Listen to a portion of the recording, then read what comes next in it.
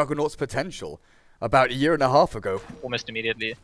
Because that's when you're looking at Bristle. Oh, the Berserker's Call onto Havos. He doesn't spin this time, so he's going to get stunned up by the cast. Telekinesis perfectly timed from SoNNeikO. Do they have enough damage to finish him off, though? Because the Fissure will land. But Cheshire Cat gets the last killing blow. Now, Vanscore, Grave is available. Hoping for some respite behind that tier 1 tower as Cheshire Cat was bearing down on him like a madman. But uh, Vanscore going to get telekinesis up. The Berserker's Call is going to catch Havos, who is trying to run past the axe and into the support. He will succeed in doing so and trying to catch Cheshire Cat here. The magic damage from the level 2 Blade Fury not quite enough as the Fade Bolt finishing off that aggressive Juggernaut and Havos is going to be wishing he hadn't. Axe taking a little bit of damage there from the Enchant Totem, but without Aftershock, you got no additional stun. Vanscore now even getting caught out. That, that's their defensive tri lane wiped. He'll walk past him. Oh, can he solo? Oh, can he solo kill him? Level three Fade Bolt. I think he, he can. Even steals a spin, but that that seems slightly misplayed there from SoNNeikO. He could have got a hit, then telekinesis, then Fade Bolted, and now Omni Slash turns back around. Host with the counter kill. Guys, guess where I am? Well, they're going to pop it now, seeing as they're so close to killing, and the signals go out. Navi, no. Reacting is a different matter. Dendi has Blink, but no RP. He's already expended that one. Stolen and Power. SoNNeikO going to be the first to fall. A spin from Havos will finish him off. Skew over and Dendi up on the cliff. They're going to steal it. Ivan stealing Aegis Immortal. That Culling Blade from Cheshire Cat does finish Dendi, but that's well worth it. Really, as PR are going to get crushed on top of this cliff. Ivan with a Quill Spray. Cheshire Cat, there's no escape, man. Are, are they gonna leave him? Uh, apparently there is escape as Ivan turns back around. Sniper with a DD is plinking away, doing plenty of damage. Havost caught on the wrong side of the fissure, but it locked the sniper down long enough for Ivan to do enough damage. Dendi with the big play though, blinking in and skewering a couple of heroes on top table. They haven't really advanced over 2k this game. Then Juggernaut has caught up massively with the fact that he's been empowered farming jungle camps. Cheshire Cat, three-man call, but there's no follow-up. Goblak might fall here to a Culling Blade, but he gets graved up. And the Fissure. now Dendi comes in with a three-man RP over the other side of the Fissure and Havos, Omni slashing them down. Zora caught on the wrong side of the river as Navi take that fight with some style. Now Dendi blinking forward, looking for the fifth man of Power Rangers, takes him down. All of a sudden, Wow. out of nowhere, Dendi with a three-man RP, but you gotta say, Cheshire Cat started that off with no backup. No one to Goose being used in the top lane. And stolen by the Rubik, in fact.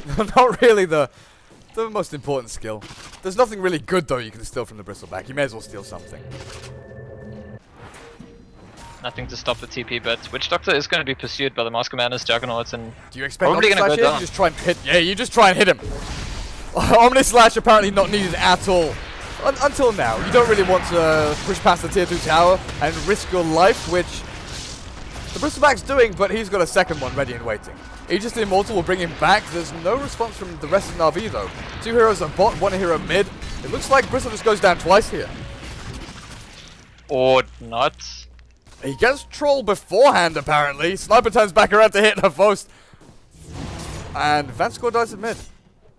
I was watching wonder that. how I- many different looking game from the first one. Navi looking pretty much in control, and oh, Goblak's gonna be stopped from getting his dagger yet again. Cheshire Cat's just hunting him at this point, and and before pretty sure he's gonna take him down. Culling Blade, he's got Blink off cooldown in three seconds. If he can get some TP rotation in here, one second, he's got the heal. Goblin kept alive. He's got Blink now. He doesn't care if he dies. Cheshire Cat just slammed me into the ground.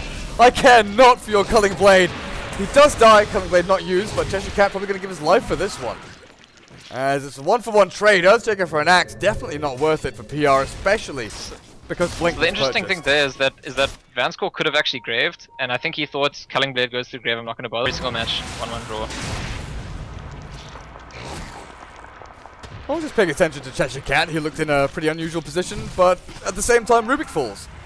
Rax here being pressured by Navi as they press onto high ground. Havost doesn't have Aegis Immortal or anything like that, so he does have to be a little bit wary of where he position hims- position himself, but not when Dendi gets an RP onto the Sniper at the same time as Cheshire Cat blinks forward. They're going to find Sniper initially. Now Echo Slam from Goblak. Catching two. The Death Deathfall from J4 just not making, an- making an impact at all. Bristleback chasing heroes down. The buyback from the sniper. Havos looking for a target, but he's already used Omni Slash. Troll tries to turn things around with a Whirling Axes mischance. Healing ward is placed, and keeping Na'Vi pretty damn healthy. Bristleback just keeps on trucking. Yeah, and the sniper buyback is just really not that relevant. It's, it's the axe who's doing all the work on Power Rangers here, and with axe dead, it's th there's almost nothing they can do. Well, they don't take a Rax, but they take a pretty commanding fight there as they force the sniper to buy back, kill off the troll and axe. So, really, the troll is, is feeling pretty sad now. We were talking about his whereas I could be going Wraithband, Sange and Yasha. Oh my god, Havost. Blinks into the middle of five of them. The Omni Slash somehow targeting only the Rubik. Dichira now with the bashes. But Dendi RP on two. Havost respawning in a second. He's going to turn this around and try and find some more kills. While Cheshire Cat on the back lines trying to fight into four. I, I don't know. The blink from Havost there. Shining star. Absolutely. I mean, I I haven't seen him make a single stick. And there's another RP on two, and he's going to skewer back. Uh, the reverse RP from SoNNeikO catches three of them now. Cheshire Cat and Dichira trying to turn things around. They've got the Echo Slam from Earthshaker. The Grave back onto the Bristleback. I don't know, can PR sustain through this? They've got another Culling Blade, but do they have someone within the threshold? Havost is dropping low. Culling Blade not in time. And Troll, one more right click does actually seal the deal. They don't take another lane of racks. They uh, basically trade three for three there. Even overall, now you've got Bristleback turning things back.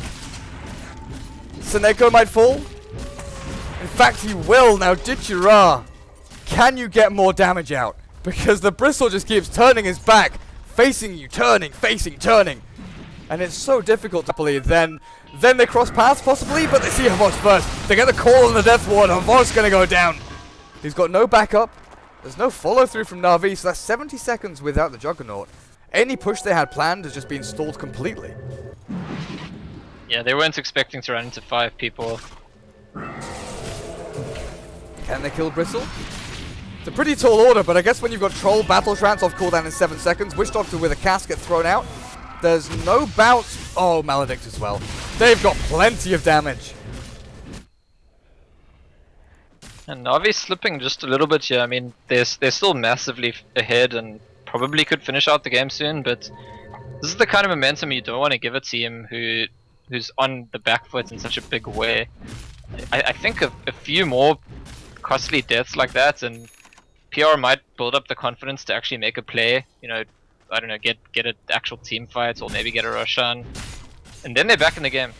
Did you see what the swing was like on the Juggernaut kill? Because I, I, just checked the Bristle one and it was about 3,100 experience swing to PR and about 2,000 gold. I was wondering about the Jug one because overall, what's that, like a 6,000 swing? In XP at the very yeah, least. Must, must be something like that. And Havost are both in the vicinity. Navi's a little bit split and PR is all smoked up heading into the jungle. Which way do they go? Who do they walk into first? Vanscore looks like he's just dead.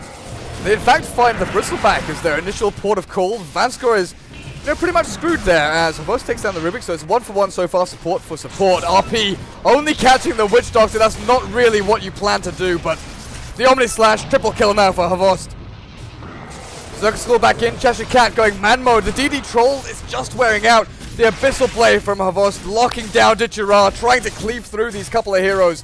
The chase continues. One bash!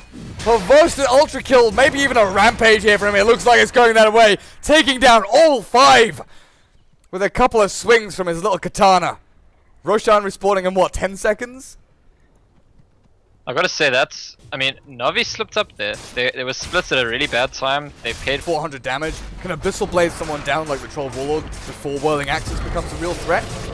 Now he has to fight up against the Blade Mail Axe though, and he's losing a lot of HP in the process. Maybe a lucky bash from Dichira, not gonna happen. Uh, so Havost spins to win, SoNNeikO now though telekinesis dunked into the ground by Cheshire Cat, and that was greedy as hell. Out for them to try and win a team fight. Well, heading towards a 5v5 cash in. Navi's a bit more spread out yet again. Well, they find the Bristleback. Berserker's Call, where's getting thrown? Because Havost and Dendi are trying to get themselves in a position where they can try and react. Havost, man fighting up against Cheshire Cat, the Witch Doctor ult, and the Assassinate actually being dodged by the Omni Slash there. Goes back in for J4, still empowered up. Malef, uh, Maledict misses. And Havost just crits him down as Zara is being swiped by the Bristleback. PR looked like they were in a decent position to try and take this fight. Pincer movement splitting up P uh, splitting up Na'Vi, but Dendi's movement was impeccable.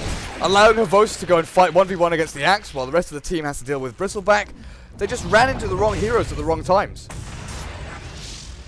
And killing the hero that has Aegis last, it's, it's always very useful. So that, the Aegis gives no value in that fight. I mean, Troll respawns, but everyone else is already dead. It looks like this is going to be the third lane of Rax here because mid is going to go down to Creep's more than likely buyback status. Not relevant because GG is cool. Come back from it. Empower the Juggernaut, farm the jungle, then you